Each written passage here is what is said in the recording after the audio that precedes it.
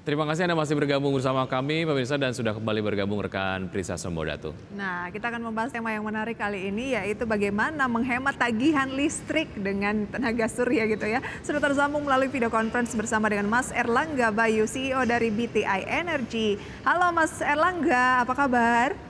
Halo, pagi. Baik, terima kasih sudah bergabung bersama kami Mas Erlangga. Mas, bicara mengenai emisi global yang terjadi belakangan, sejauh mana ini akhirnya juga meningkatkan awareness ataupun mungkin uh, meningkatkan concern lah ya soal peralihan ke energi baru terbarukan? Ya, uh, kalau sekarang kan sebenarnya uh, sudah lama ya mulai isu ini ada sejak adanya Paris Agreement, gitu. apalagi sekarang juga baru lagi ada COP ya di Dubai gitu. Jadi semua orang ngomongin uh, emisi perubahan iklim dan lain-lainnya gitu. Dan mungkin kalau kita ngomong emisi uh, data dari World Bank itu uh, 40% emisi itu berasal dari pembakaran uh, bahan bakar padat seperti misalnya batu bara. Dan mungkin sedihnya kita di Indonesia ya 60% energi itu 60% energi atau listrik itu berasal dari batu bara. Makanya kalau kita ngomong Indonesia ya pasti emisi yang dihasilkan dari pembangkitan listrik Indonesia itu besar sekali. Itu baru batu bara, belum dari pembangkit lainnya misalnya dari diesel itu bisa lebih besar lagi gitu. Makanya sih kita sekarang semakin banyak beralih ke energi yang terbarukan, yang emisinya lebih rendah daripada uh, bahan bakar fosil seperti itu. Hmm.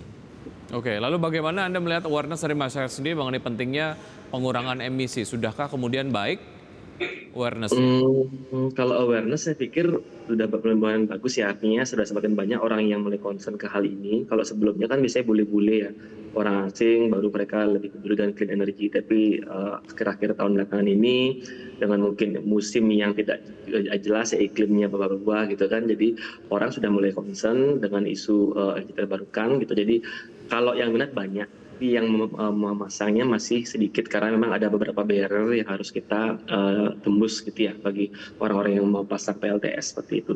Hmm. Nah, Mas Erlangga, apa sih yang uh, Mas Erlangga gitu ya lihat uh, dari masyarakat terhadap upaya-upaya aksesnya begitu ya yang menjadi tantangan dari masyarakat terhadap upaya-upaya pengurangan emisi ini sendiri? Ya, mungkin kalau sama tadi Mbak Prisa dan Mas Vicky, jadi uh, sama yang tadi saya bilang itu bahwa masyarakat tuh banyak pengen, gitu. Hmm. Tapi yang memasang sedikit. Jadi memang barrier atau challenge-nya itu di uh, biasa biaya. Karena uh, instalasi energi terbarukan, khususnya PLTS atau surya itu biaya di awalnya tinggi, capex-nya itu tinggi gitu. Walaupun memang kalau itu secara ekonomi sebenarnya menguntungkan, karena tinggi di awal tapi umurnya panjang sampai 25 sampai 30 tahun gitu tapi memang di awal tuh orang masih mikir gitu ya apa namanya jadi tinggi biayanya seperti hmm, itu gitu. Baik. Lalu uh, terkait dengan uh, permasalahan tersebut solusi apa yang ditawarkan oleh BTI Energy sendiri Mas Erlangga? Kalau kita sih memang uh, di tagline kita itu uh, affordable and flexible solar energy for everyone. Jadi kita pengen ngasih uh, solusi-solusi uh, yang mungkin banyak orang bisa jangkau, bukan hanya orang-orang tertentu ya, atau bukan hanya orang yang punya duit gitu. Jadi uh, karena masa ini finansial, jadi kita gimana caranya membagi finansial ini biar nggak besar di awal. Jadi kita bagi seperti misal kayak nyicil gitu. Walaupun memang kalau nyicil kayak bank itu kan dia bisa nyicil paling nggak lima tahun gitu ya paling lama tenornya. Sedangkan uh, balik modal modalnya bisa enam tahun 8 tahun. Nah jadi kita bisa juga kasih skema-skema sewa. Jadi mereka masyarakat tuh nggak harus bayar besar di awal tapi bisa menyewa gitu per bulan. Dan sewanya itu lebih kecil lah biaya daripada penghematan yang dihasilkan. Jadi mungkin itu yang sampai hari ini masih bisa kita tawarkan hmm. untuk membuat lebih murah gitu jadinya oh, gitu. segmen mana nih yang paling banyak dituju oleh BTI Energy kalau segmen kalau kita karena di Bali ya Mbak Prisa jadi karena kita di Bali itu lebih banyak villa gitu ya. Kantor juga ada gitu. Tapi kalau memang ngomongin mau lebih besar jadi dengan skema seperti itu sebenarnya CNI CNI itu komersial and industry. Hmm. jadi kayak tadi misalnya bisnis bisnis gitu yang pemakaian listriknya besar di siang hari gitu. Ataupun industri. Cuma kalau di Bali kan nggak banyak industri ya. Jadi kita hmm. lebih banyak ke komersial dan juga villa-villa sih kalau yang di Bali gitu Baik, oke menarik kita akan lanjutkan usaha jeda berikut ini ya Mas Erlangga ya dan pemirsa tetap bersama kami usaha jeda kami akan segera kembali. Terima kasih pemirsa Anda kembali bersama kami dan kita masih akan berbincang bersama dengan Mas Erlangga Bayu dari BTI Energy membahas mengenai panel surya. Kalau di Bali sendiri sudah lebih masif dibandingkan wilayah lain nggak Mas Erlangga atau seperti apa? Ya, kalau di Bali sih mungkin dibanding uh, tetangga-tetangga lumayan cepat ya pertumbuhannya. Mungkin salah satunya juga karena faktor di sini banyak orang asing. Kalau orang asing itu kita nggak usah jelasin, mereka udah tahu gitu, jadi mereka mereka yang nyari. Gitu. Kalau mungkin orang lokal, yang maaf kita masih perlu edukasi, jadi jelasin apa manfaat-manfaatnya gitu. Uh, dari sisi jumlah memang lebih masif, tapi kalau dari sisi kapasitas, uh, kalau di Bali masih kalah dengan daerah misalnya kayak Jawa Barat atau Jawa Tengah yang ada industrinya, ada pabrik-pabrik. Karena kalau industri sekali pasang itu bisa sekian mega gitu. Kalau di Bali itu lebih banyak yang rumah tangga, villa residensial seperti itu. Hmm. Itu karakter. Kapasitas masih kalah dibanding dengan uh, daerah lain seperti Jawa Barat dan Jawa Tengah gitu ya. Iya. Oke. Okay. dari jumlah mungkin banyak sih. Baik. Jumlah pengguna gitu. Ya, berarti Bita Energy uh, hanya instalasinya saja atau uh, membuat panel surya sendiri? Kita instalasi, commissioning okay. sampai OM, sampai maintenance, operation maintenance itu kita juga lakukan. Oke. Okay. Gitu. Dan okay. mungkin bukan sebenarnya kalau kita ngomong project bukan hanya di Bali ya, kita juga ada project sampai di Surabaya, kan di Timor Leste juga ada di Maluku kayak gitu sih. Hmm, baik. Tapi yang banyak di Bali. Ya, Mas, mengapa uh, menggarap bisnis uh, panel surya dan um, apakah sejauh ini menjadi satu bisnis yang potensial dan juga menguntungkan?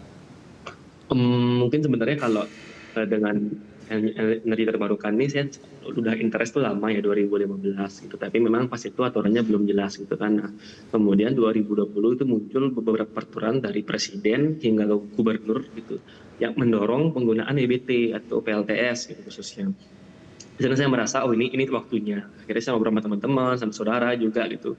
Uh, kita coba yuk buat itu. Jadi mungkin tanda kutip dulu kita kerja sama orang gitu kerja sama orang perusahaan uh, apa namanya PLTS perusahaan, perusahaan asing gitu ya sama bule gitu. Terus sekarang kita coba sebagai orang lokal buat sendiri gitu. Tiga tahun empat sudah empat tahun sekarang ya jadi ya lumayan sih syukurnya jalan gitu. Hmm. itu sih okay. dasarnya karena peluangnya ada kita kira. Oke berarti saat ini BTI Energy sudah mencatatkan profit dong Ya, alhamdulillah sudah sih. Sudah ya? uh, sudah ya, uh, sudah tahun mau tahun keempat ini. Nah, saya mau bertanyakan soal kendala mengenai adanya aturan dasar ya yang menggunakan panel surya adalah daya yang dihasilkan itu dari sistem panel surya harus lebih kecil nih dibandingkan dengan daya yang terdaftar di uh, PLN. Seperti itu, uh, apakah menjadi kendala atau gimana? Ada apa ya? ya. Ada sinergikah dengan PLN atau bagaimana? Ya, ya. Um, terima kasih Mbak. Jadi kalau kendala itu di awal-awal sih Mbak ya, karena dulu sebelum adanya aturan ini, itu peraturan Menteri ESDM itu masyarakat boleh masang full 100% hmm. dengan, uh, dibandingin dengan kapasitas PLN-nya. Tapi mungkin ada aturan baru itu 2022 ya tahun lalu situ ya. Jadi tiba-tiba dibatasi nggak boleh mas masang banyak gitu kan, nggak boleh masang full dan bahkan itu dibatasinya menjelang G20 loh yang ngomongin transisi energi gitu. Nah tapi kalau sekarang ya kalau sekarang syukurnya kalau di Bali udah boleh gitu karena kita juga sering ngobrol sama PLN kan kalau kita ngelawan PLN nggak mungkin ya hmm. PLN itu kan besar sekali gitu jadi kita ngomong baik-baik gitu ya kita lobby-lobby lah negosiasi gitu. Udah boleh masang full asalkan tidak ekspor. Nah mungkin ekspor ini yang sebenarnya agak kurang menguntungkan bagi masyarakat rumah tangga khususnya. Karena hmm. ekspor itu adalah kita bisa mengirim kelebihan energi itu ke PLN dan dihargai oleh PLN 65% tapi sekarang udah nggak dihargai lagi. Jadi uh, energinya kalau lebih misalnya siang-siang ada energi tapi misalnya uh, yang tinggal di rumah itu lagi kerja atau sekolah kan nggak kepake listriknya kalau dulu bisa bisa bisa dihargai oleh PLN sekarang nggak Baik. Itu ya sih mungkin. Ya, apa yang membedakan solusi yang ditawarkan oleh BTI Energi dengan pemain lain dan berapa range pemasangan solar panel di BTI Energi sendiri, Mas Erlangga? Hmm, mungkin kalau yang membedakan kalau di Bali, kalau ngomong di Bali ya di Bali ada banyak perusahaan PLTS asing gitu khususnya yang punyanya orang bule ya dari berbagai negara, Spanyol, Jepang, Jerman, uh, Perancis, Italia juga ada semua itu karena banyak bule di sini kan. Mungkin yang membedakan kita kita karena perusahaan lokal kita PT jadi kita berusaha izin-izin lengkap, sertifikasinya lengkap karena memang ini kan bisnis yang sebenarnya agak bah, agak riskan ya karena membuat energi kan kayak buat api lah gitu. Jadi uh, sertifikasi harus lengkap dari instalasi sampai K3 sampai TKBT sampai macam-macam situ uh, lengkap dan juga mungkin kalau kita di Bali harganya kita bisa bilang berani bersaing. Artinya kalau dengan teman-teman eh, perusahaan lain kita bisa bilang harganya bisa bersaing dengan spesifikasi sama. Baik. kayak gitu sih. Kalau tadi harga ya kalau rumah tangga mungkin sekitar 30-40 juta sih. Oke, karena sesuai dengan visi misi dari BTS sendiri menginklusifkan uh, layanan uh, panel surya begitu ya ke masyarakat uh, hingga yang retail begitu. Baik, Uh, Mas Erlangga, terima kasih sudah bergabung bersama kami. Sukses untuk BTI Energi. Sampai jumpa. Terima kasih Mas Krista. Prisa Mas Vicky. Ya baik, okay. thank you. Sebelum kita akhiri pemirsa, kami update kembali posisi dari indeks harga saham gabungan dan juga saham-saham yang masuk menjadi deretan saham top gainers pada pagi hari ini dan juga losers IHSG masih dilanda aksi profit taking kayaknya tapi berusaha untuk tetap bertahan di 7100 dan saat ini menguat 0,04 persen di 7103. Betul, tahap Genes sejauh ini ada Telkom, BRPT, PTRO, PGO, KF, SGR, TPIA, GJTL, dan juga JSMR.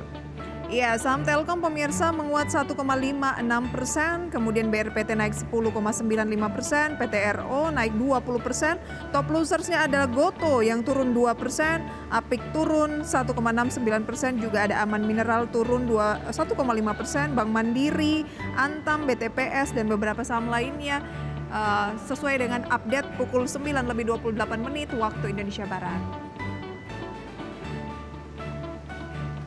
Dan pemirsa sudah 90 menit kami menemani Anda dalam Power Breakfast. Ya, semoga berbagai macam informasi hari ini dapat menjadi referensi dan sumber informasi untuk Anda. Tetap perbarui informasi Anda hanya di IDX Channel, your trustworthy and comprehensive investment reference. Saya Wiki Adrian. Dan saya Prisa Sopodatu. Sampai, Sampai jumpa. jumpa.